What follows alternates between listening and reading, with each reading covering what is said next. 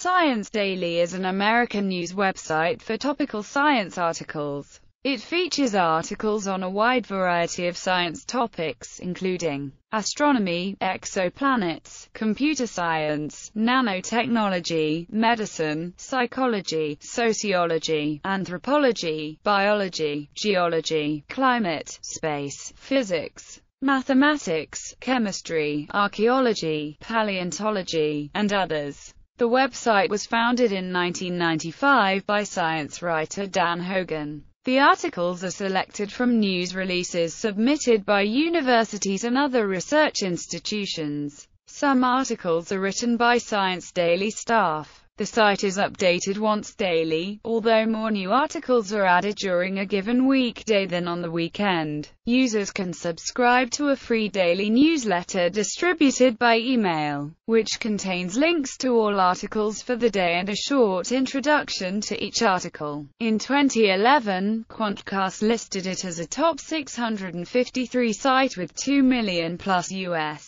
people visiting per month and this being 60% of all visitors.